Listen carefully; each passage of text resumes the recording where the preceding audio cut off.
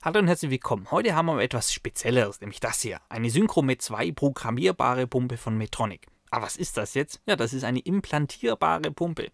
Ja, sieht vielleicht ein bisschen aus wie eine Herzschrittmacher, aber die sind inzwischen ja doch deutlich kleiner. Das ist das Modell 8637-20. Die 20 äh, sind 20 Milliliter Inhalt, die gibt es auch nur für 40, die ist dann fast doch mal doppelt so dick. Also ist schon ein ganz schöner Brummer, der da in den Bauchraum implantiert wird. Und das wiegt jetzt auch schon um die 150 Gramm.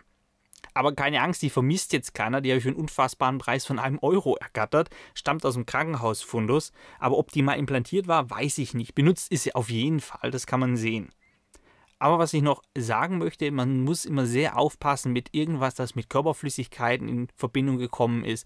Aber auch hier zum Beispiel Medikamente, die hier eventuell noch drin verbleiben. Das ist nicht ganz ungefährlich. Da muss man auf jeden Fall sehr, sehr aufpassen. Also medizinisch habe ich davon relativ wenig Ahnung, aber technisch können wir uns ein bisschen was anschauen. Ähm, ist ganz interessant, für was das so alles so verwendet wird. Hauptsächlich zum Beispiel für sowas wie Insulin, aber ich habe auch andere Anwendungen gesehen für Bluthochdruck und so weiter, was halt dann direkt im Körper verabreicht wird. Ja, da hat man hier den Anschluss für den Katheter, der dann dementsprechend zum Spinalkanal und in die Arterie geht. Und hier hat man noch zwei andere Ports. Hier oben, da kann man direkt in diesen Katheter über eine Spritze ähm, was injizieren. Und ihr seht ja, das hat ja hier ein Volumen drin. Ne? Wenn man sowas wie Insulin hat, das hält natürlich nicht ewig. Ja, das muss man irgendwann auffüllen. Und das ist natürlich vorne der Fall. Wenn ihr da mal genau hinschaut, da seht ihr hier so ein bisschen so Silikon, sage ich mal, was wieder selbst verschließend ist. Und dann wird man hier mit einer Spritze dort hineinstechen und dann dementsprechend Medikament wieder nachfüllen. Man sieht auch, man hat nicht ab und zu so gut getroffen, also muss man überlegen, aber ja, wie kommt man da jetzt dran, wenn das im Bauchraum ist? Ja, man muss dann durch den Bauch hindurch hier hineinstechen. Also das habe ich auch noch nicht gesehen, es ist auch nicht so ganz optimal irgendwie, aber ist schon eine interessante Lösung. Wie auch typisch, wenn wir uns das anschauen, Gehäuse relativ dünn teilweise, hier aus Titan gefertigt. Ja, das ist ja häufig für solche implantierbaren Geräte, weil es relativ inert im, im Körper sich verhält.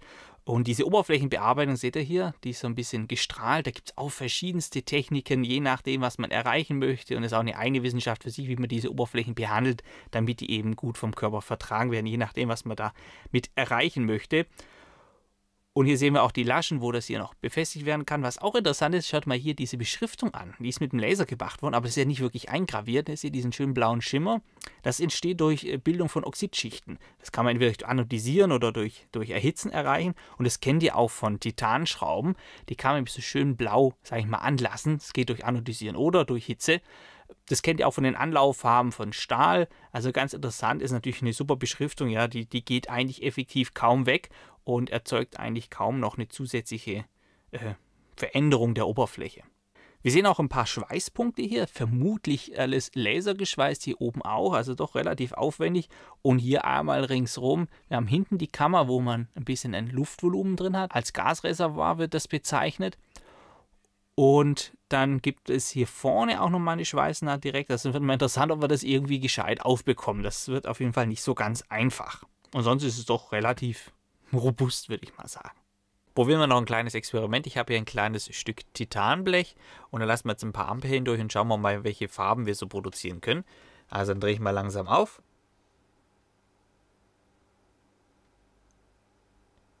Jetzt müsste ich es langsam erwärmen. Haben wir schon 5 Ampere. Jetzt. Ich habe es mal ein bisschen anders hin. Da könnt ihr es schön sehen. Wird erst so ein bisschen braun, gold, gelb. Und jetzt, wenn ich weitergehe, gehen wir ins Violette. Wird immer heißer. Schauen wir mal wenig. Da kommt langsam das Blau durch. Seht ihr es? Ich halte dann jetzt einfach mal gleich kurz an. Das reicht. So, jetzt ist der Strom wieder aus. Jetzt hoffentlich kann man das erkennen. Jetzt haben wir hier so eine schöne blaue Farbe. Können wir noch ein bisschen weitergehen. drehen wir mal richtig auf. So. Jetzt hat sogar richtig geglüht.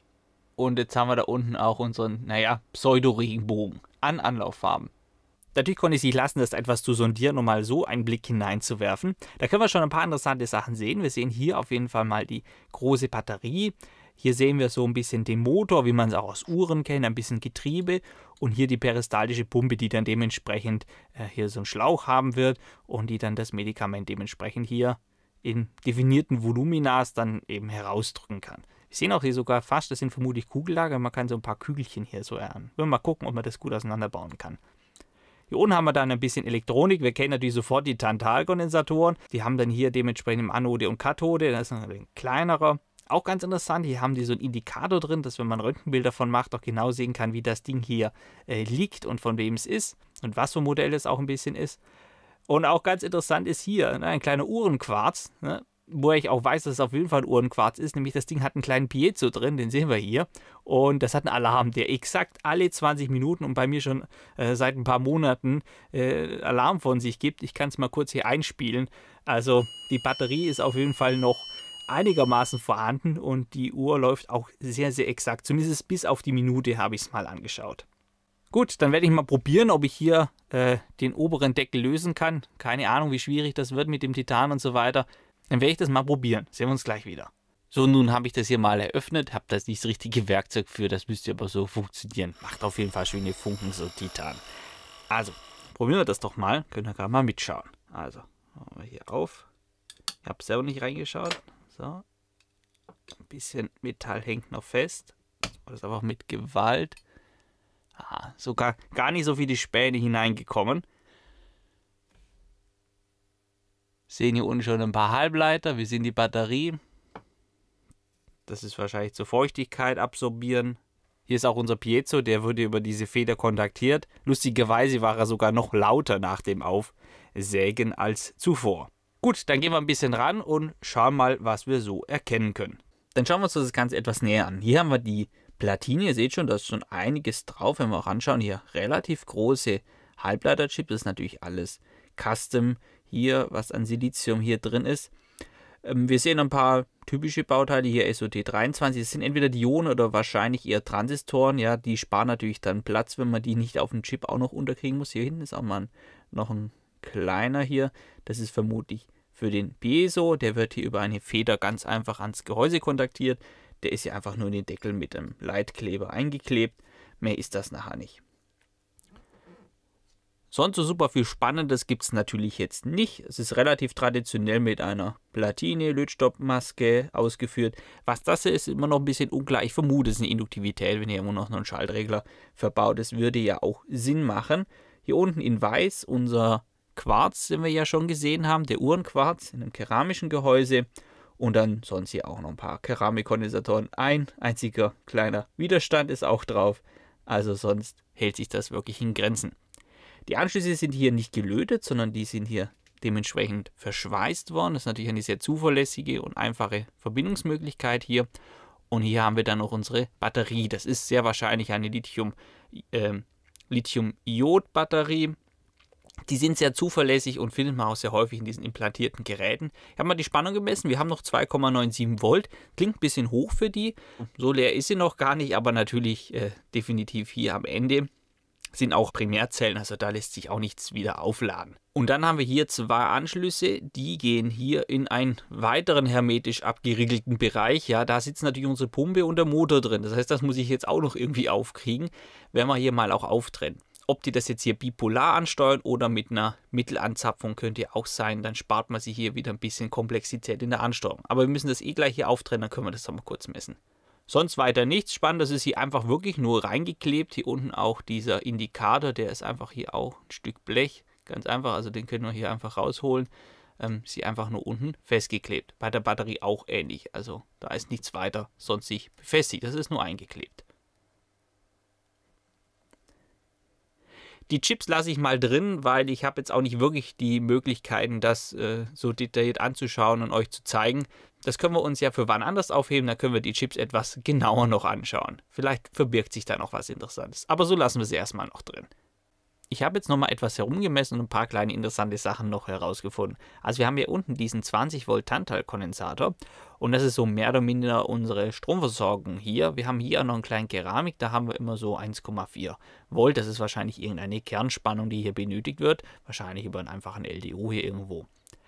Und diese Spannung an diesem Kondensator, die geht ab und zu hoch. Ich habe die genauen Werte noch nicht messen können, aber auf jeden Fall mal überhalb von 6,7 Volt. Und normalerweise fällt das dann langsam wieder ab. Das ist dann einfach hier, was ich mit dem Messinstrument entlade, diesen Kondensator, auf die Batteriespannung.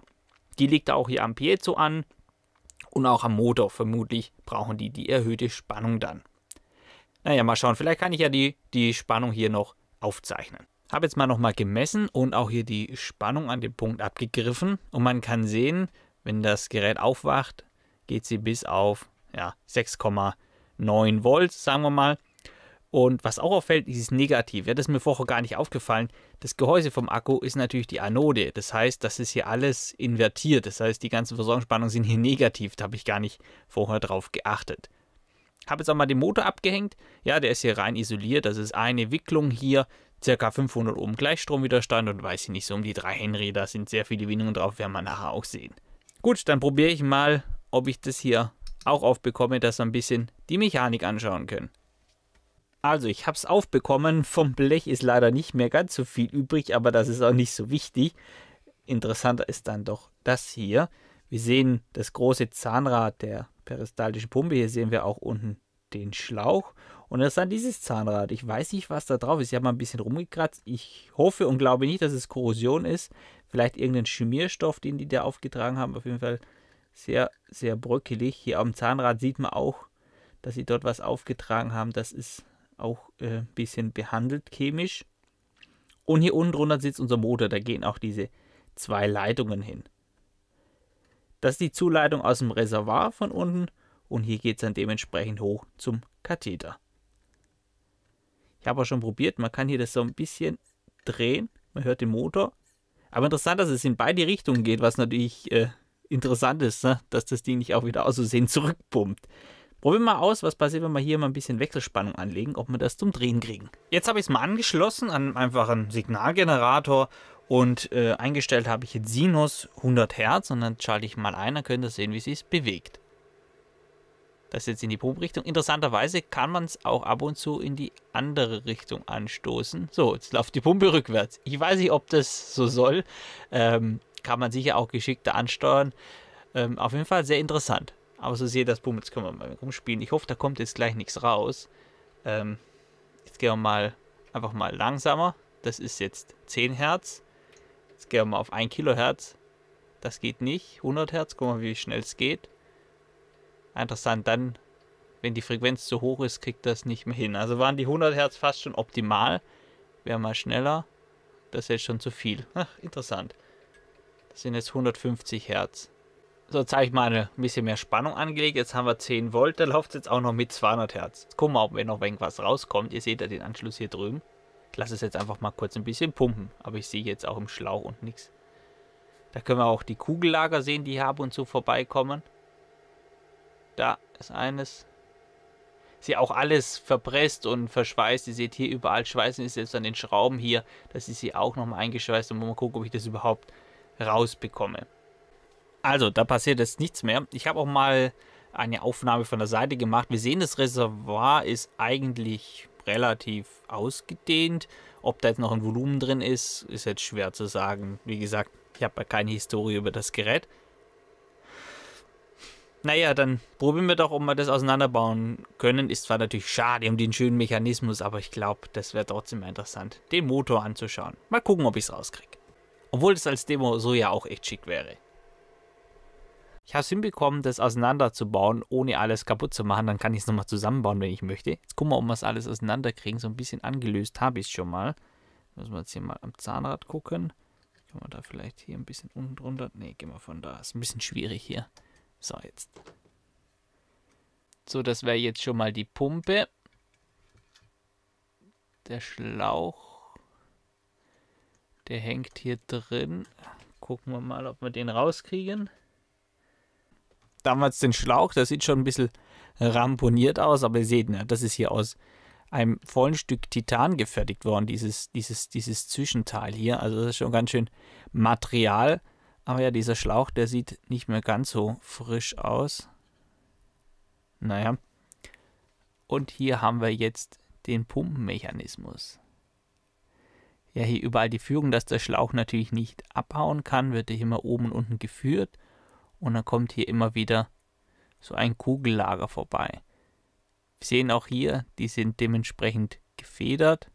Ja, wenn ich jetzt hier mal dagegen drücke, ja, das sind jetzt jeweils diese Rollen, die dann den Schlauch zwischen diesem Kugellager und der Außenwand hier dann dementsprechend verpressen und dann so immer bekannte Voluminas dementsprechend hier durchpumpen, ja. Weil hier gibt es natürlich kein direktes Feedback, ähm, wie viel Flüssigkeit hier gepumpt wird. Deswegen kann rein über die Umdrehungszahl sehr genau abgeschätzt werden, äh, wie viel Volumen da dementsprechend durchgeht. Hier unten ist auch nochmal ein kleines Kugellager drin. Ist auch relativ freilaufend hier. Also auch nicht schlecht. Sonst nichts weiter Spannendes, schön gefertigt.